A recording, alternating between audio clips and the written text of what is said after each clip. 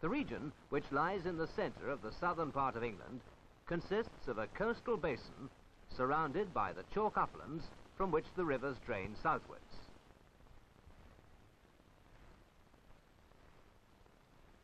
The scarp slopes of the hills overlook the adjoining lowlands of Blackmoor, the Vale of Pewsey, the London Basin, and the Weald of Kent.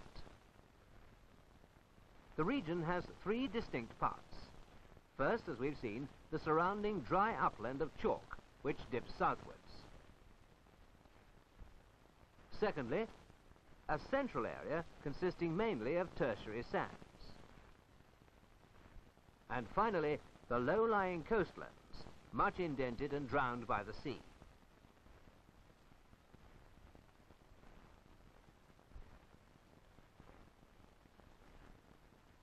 Let's look first of all at the chalklands. With steep scarps along their northern edge, they consist of rolling upland cut up by deep water-worn valleys.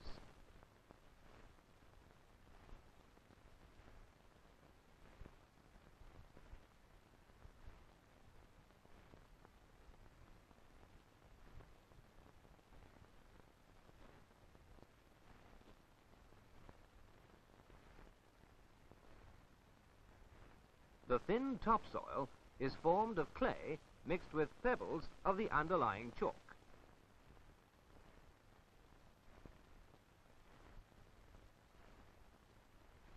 It's quite a rich soil, and the farms are large and prosperous.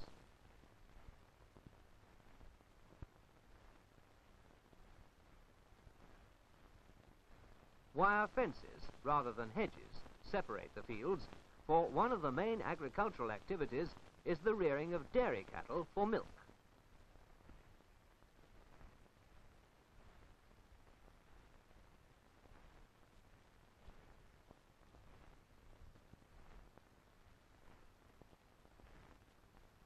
The cattle feed on pasture, silage, fodder crops and grain grown on the farm.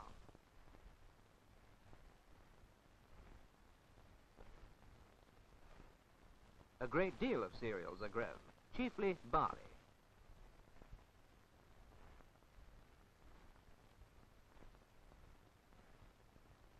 It is sold as a fattening food for beef producers. And as this warm, sunny upland produces grain of high quality, some is grown for seed. The rain that falls on this permeable land quickly soaks through into the chalk. Wind pumps, together with electric pumps, are used to bring up water for the cattle. In dry weather, some of it is used to irrigate the crops.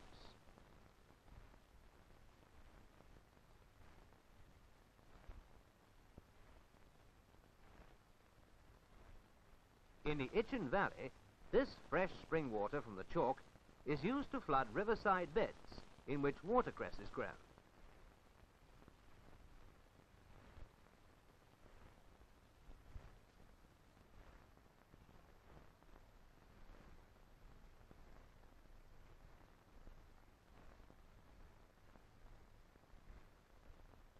Watercress is an important local crop. One and a half million bunches are produced here every year for sale in London and the Midlands.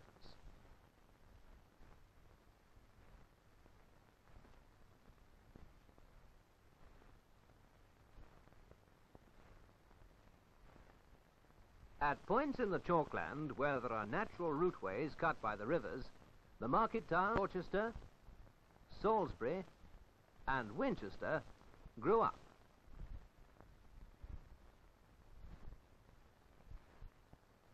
The fine cathedral at Winchester bears witness to the past importance and prosperity of this ancient city.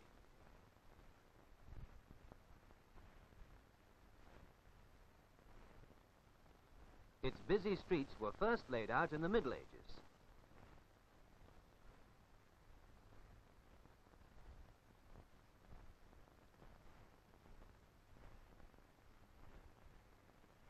Salisbury is another city with a magnificent cathedral. Its spire is the highest in England.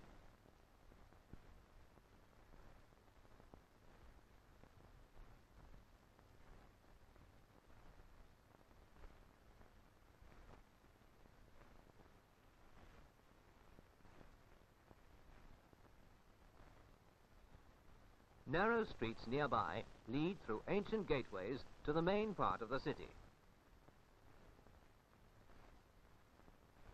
Like Winchester and Dorchester, Salisbury is a centre for the surrounding chalk farmlands. And at its busy modern market, farm produce and livestock are bought and sold.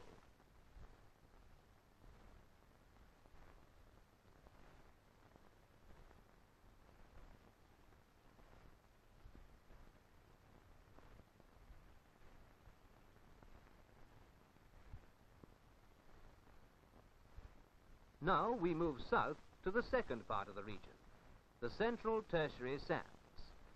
This is a much less prosperous area. The New Forest, which covers much of it, consists of large tracts of heath and woodland over which wild ponies roam, finding scanty pasture among the heather, bracken, broom and gorse.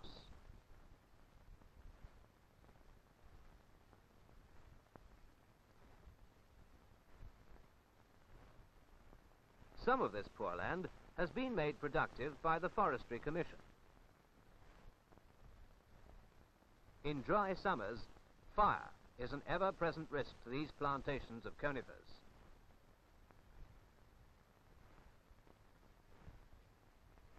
In sand and gravel pits, where the soil has been cut away, we can see clearly how poor and stony it is.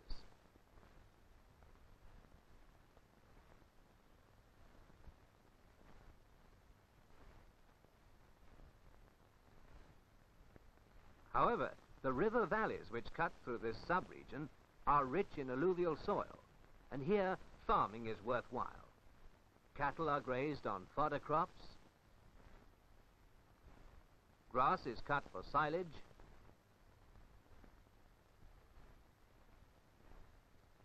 and pigs are reared for bacon.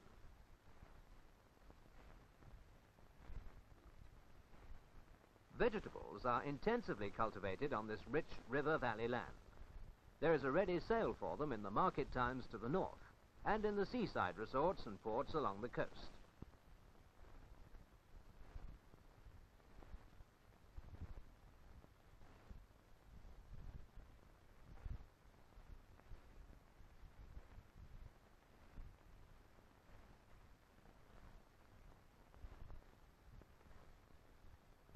The most important market gardening area of the tertiary sands sub-region is centred around Swanwick, to the east of Southampton. Here, in addition to vegetables, soft fruit is grown, especially strawberries. Some of the fruit is ripened especially early under glass and sent off to markets in London, the Midlands and Scotland, as well as to the large towns in the region.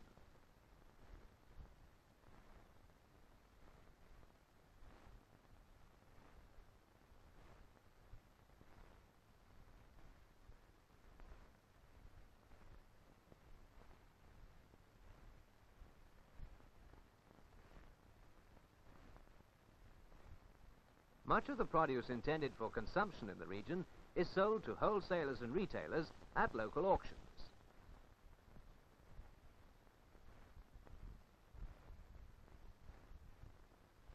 All of it, a wide variety of vegetables and fruit, was grown in the few areas of good soils found in the valleys and in the Swanwick district of this otherwise infertile area of the tertiary sands.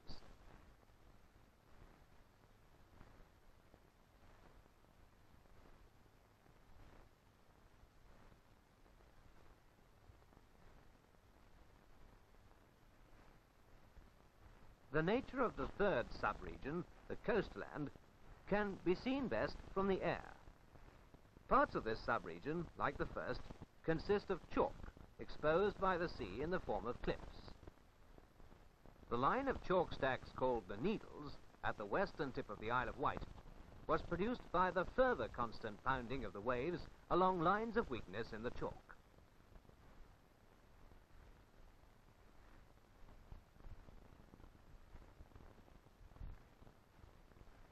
cove at Lulworth was made by the sea cutting through a similar line of weakness in limestone cliffs.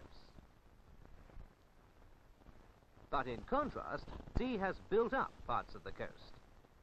The long shingle bank called Chesil Beach was formed by material moved along eastwards by the waves.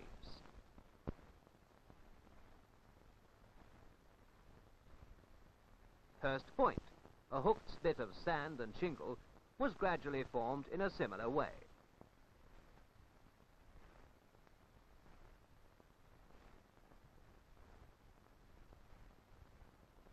When the sea level rose at the end of the Ice Age, lower parts of the coast were drowned. Wide estuaries were thus formed, such as that of the Beaulieu River.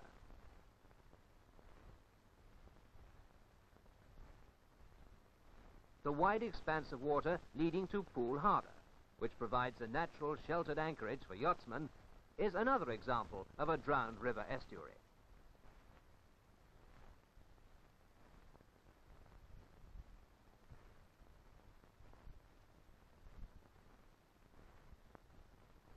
Along this warm and sunny coast, with its many sandy beaches, seaside resorts developed.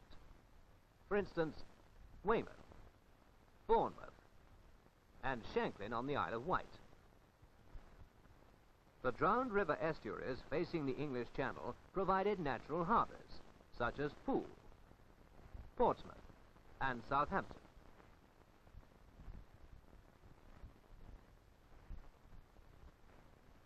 The seaside, for example, are very popular in the summertime, especially during the months of July and August.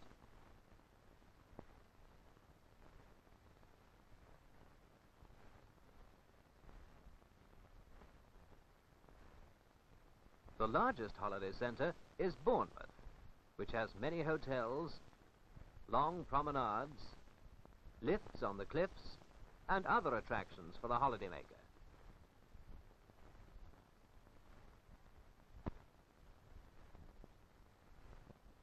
The climate at Bournemouth, mild even in the winter time, suits elderly folk, many of whom come to live here in retirement.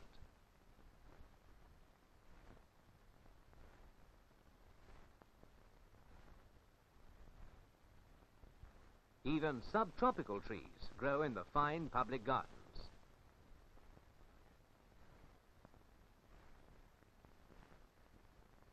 Portsmouth is the largest naval harbour on the south coast. Beyond its narrow entrance lies a large stretch of sheltered deep water, giving anchorage for many vessels.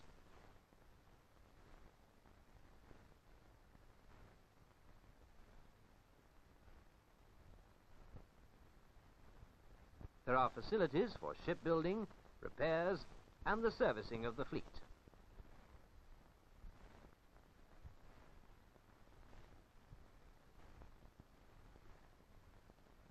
The largest liners afloat ply to and from Southampton docks, 10 miles inland at the head of the long, drowned estuary of the Test and Itchen rivers.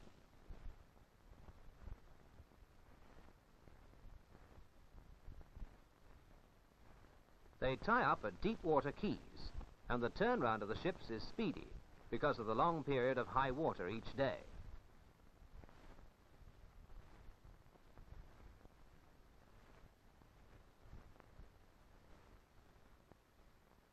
Southampton is the largest passenger port in the British Isles, serving America, Africa, Australia, and New Zealand.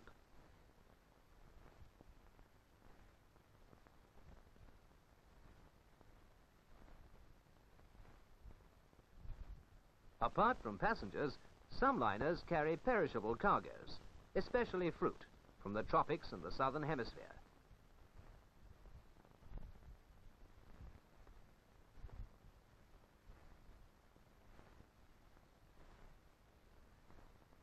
The fruit is distributed all over the country from a market situated close to the docks.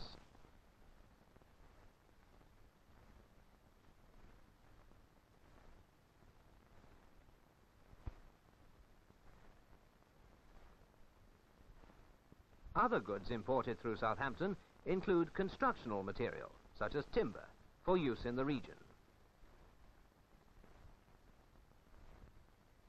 There is much less export trade, mainly cars and high-priced crated manufactured goods.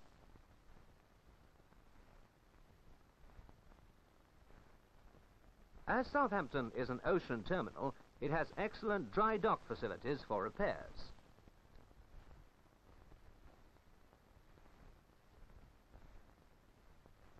At Fawley, at the southern end of Southampton Water, a large petroleum refinery has been built. It is supplied with crude oil brought from the Middle East and the Gulf of Maracaibo in large ocean-going tankers.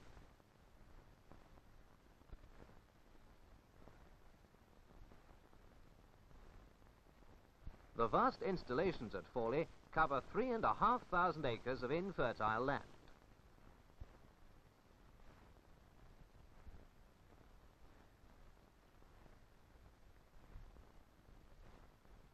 The refined products are stored in tanks to await distribution, mainly by coastal tanker, to installations along the southern and eastern coasts of the country.